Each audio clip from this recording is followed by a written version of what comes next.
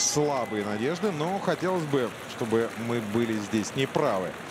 Первый, э, в первой паре э, канатки Бланден, Спенс и Тат э, будут соперничать с китаянками Джи Чэнь Хао, Джин Лю и Цин Джао.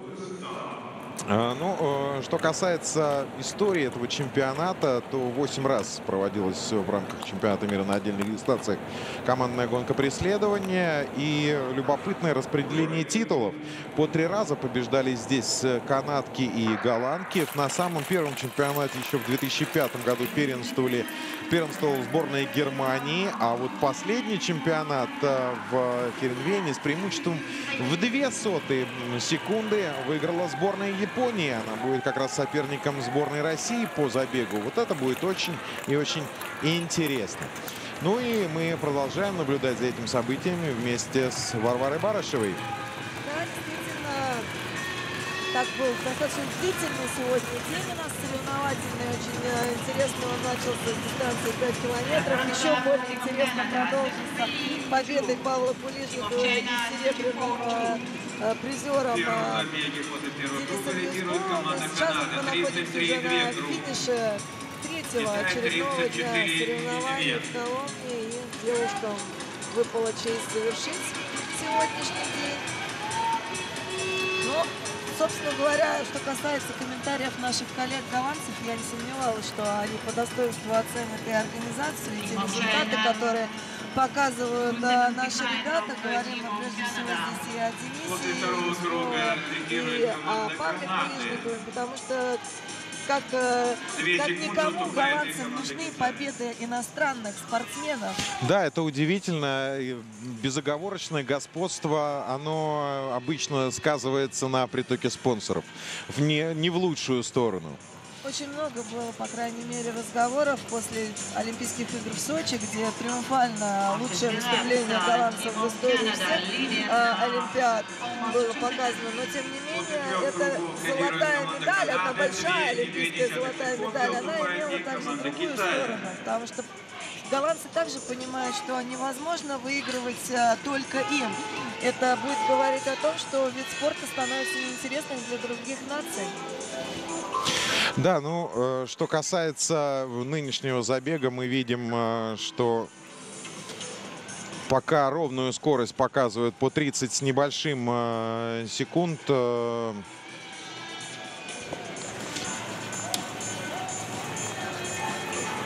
Участники этого забега.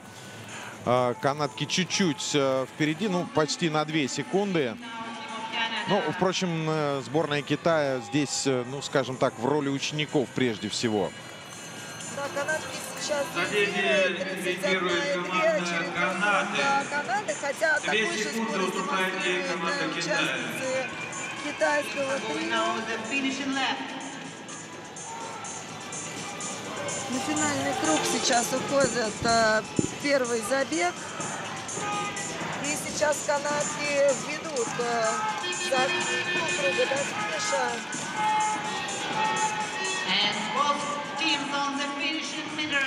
Ну, э, у нас, судя по всему, небольшие проблемы технического свойства, поэтому вы, уважаемые телезрители, возможно, чуть хуже э, слышите голос э, Варвары Барышевой. Попробуем сейчас что-то сделать. Э, такая неожиданная нас проблема настигла. Техника не выдерживает. Да, возможно. Э, ну, канатки э, здесь впереди. 4.09.92 сотые секунды. Но это, в общем, достаточно скромный результат. Пусть он и на 5 секунд с лишним лучше рекорда катка.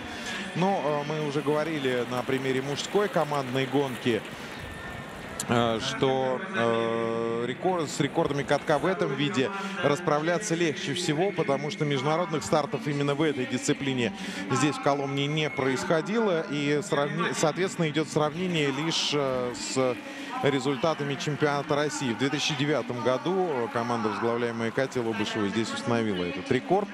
Катю Лобышеву мы, кстати, надеемся, может быть, завтра услышать а, здесь на комментаторской позиции.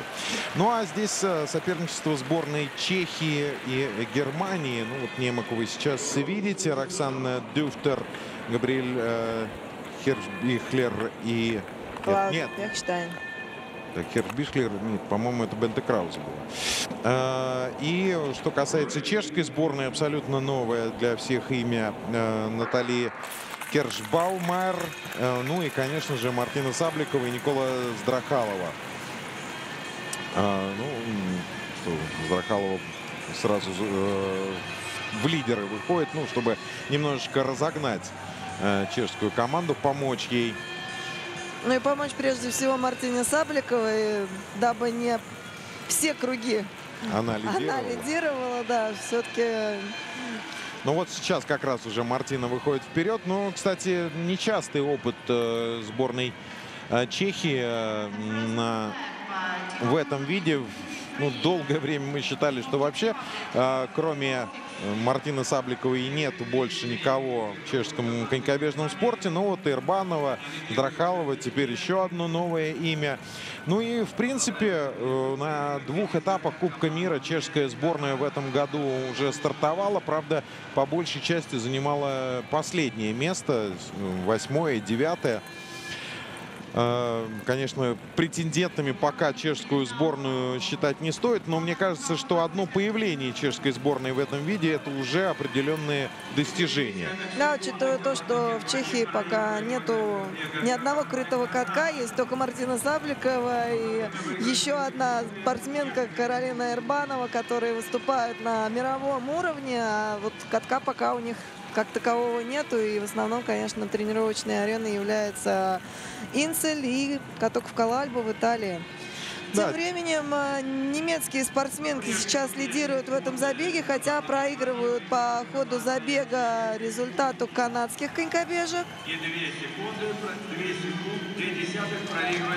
Да, но они, э, может быть, поровнее немножечко идут. И зная мастерство Клаудии Пихштайн, э, но Пихштайн, кстати, не была чемпионкой мира в этом виде. Э, немки в 2005 году, когда выигрывали, там в составе были Даниэла Аншуц, Ани Фризингер и Сабина Фелькер. Э, более скоростные, более взрывные девушки. Ну, Сабина Фелькер э, ну, призером точно была чемпионата мира по спринту, не вспомню сейчас, по-моему, даже выигрывала чемпионат мира спринт, спринтерский. Ну и вообще это была команда такая, с, пожалуй, только Фризингер достойно представлял Германию на длинных дистанциях. Все остальные и Аншуц, и Фелькер это были спринтеры. Тем не менее, немки впереди. Ну, потихоньку, кстати, и чешки сокращают свое отставание от графика бега э, сборной Канады. Хотя у них были проблемы маленькие по ходу. И я так понимаю, что Кершбаумайер э, там спотыкалась. Но вроде бы сейчас ее так э, удержали в составе. Клаудия Пихштайн немножечко отрывается вперед от своих партнерш по команде. Ну, Клаудия это попроще немножко. И сейчас, да, они финишируют с лучшим временем пока. 3 минуты 2 и 93 сотых секунды. И третий результат ну, сумели... Чехии. Сумели, да, сборная Чехии. В Обыграть китаянок. Благодаря, да, усилия Мартины Сабликовой, который, по-моему, все шесть кругов, э, может быть, за исключением первого поворота, лидировала. Не, она почти весь первый круг э, была, ехала второй. Во втором забеге команда Германии установила новый рекорд. Ну и в каждом забеге мы говорим сейчас о новом рекорде катка. Ну, этот рекорд все-таки будет принадлежать тому, кто а, по окончании соревнований покажет лучший результат. Ну, а кто знает, может быть, э, сборной Германии с этим результатом удастся добраться до награды. Мы так переживали за Клаудию Пехштайн, которая имела два шанса выиграть здесь э, свою 30-ю э, в карьере медаль э, на чемпионате, на чемпионатах мира. Может быть, здесь получится. Сестры э, Такаги и э, Мисаки Шигири в японской команде и граф Козелина-Воронина. А, такая близкая по комплекции у нас команда подобралась. Все невысокие, все ответственные девушки. Ну, мы говорили уже о не лучшем самочувствии Оли Граф. Наташа Воронина поболела немножечко две недели назад во время этапа в Ставангере. Э, очень хочется верить, что девчонкам э, сейчас получше чувствуется себя и в общем, они смогут пробежать так, как они могут пробежать. В этом сезоне сборная России дважды была на пьедестале этапов Кубка мира. На первых двух этапах э, оба раза были бронзовые награды и четвертое место на третьем. Этапе. Так что, в общем, наверное, есть определенные надежды. Ну а японки, японки выиграли два последних этапа Кубка мира. Они лидеры э, Кубка мира э, в нынешнем сезоне. Поэтому это очень серьезный соперник. И в этой очной борьбе, надеемся, родится хороший результат. Сейчас Наталья Воронина ведет а, нашу команду по ходу дистанции. Вот сейчас, наверное, должна быть смена. Да, ну пока мы больше телевизионным образом уделяем внимание японкам. Но, сожалению, лидеры Кубка мира и, прошла, и действующие чемпионы. к сожалению, не так а, просто транслировать а, именно командную гонку преследования на катке. Это смотрится намного более захватывающе. Разве что вот сейчас, когда отметку показывают а, в финишном створе, то видно, что наши девочки пока уступают по ходу дистанции сборной Японии, хотя Ну, идут уступает на- немного. Да, уступает, уступает немного, но А, сейчас какой сбой небольшой вот в построении. Лиза Козелина впереди, Наташа Воронина и Ольга Граф на Наташу чуть-чуть наткнулась. Но быстро восстановили строй. Чуть-чуть э, темпа Лизы не хватает. Наташа и Оля могут бежать быстрее. Не показывают нам график э, Японок. японок, хотя японки обыгрывают сейчас наших, ведут э, наших девушек от результата, которые показали нем- немки в предыдущем забеге. 3.02.94 был результат сборной Германии. Сейчас э, сборная России еще чуть-чуть отыгрывает по ходу дистанции у немецкой команды. Ведет сейчас забег э, Наталья Воронина, чуть ее подстраховывает, подталкивает э, Оля Граф. Но главное вот в таком построении Лизу не потерять. И опять сбой. Бой, да. на входе в поворот. Немножко, ну, странно. В общем-то, команда накатанная. Они этим составом не раз и на этапах Кубка мира выступали. И я это связываю только лишь вот с болячками и неудачами на этом чемпионате. Э, Небольшое преимущество остается еще у нашей команды. Оля Граф впереди. Лизу правильно, в общем-то, взяли сейчас в середину этого строя, чтобы не потерять по ходу. Японки Очень здорово много. японки бе- Да, бегут, посмотри, какое преимущество у японок. Почти 4 секунды над графиком бега немок. То есть они бегут из трех минут, а это результат экстра класса. И поэтому на их фоне, конечно, ну вот сейчас, ой-ой-ой, Наташа, Наташа теряется. Воронина, Но да. 64 соток еще есть.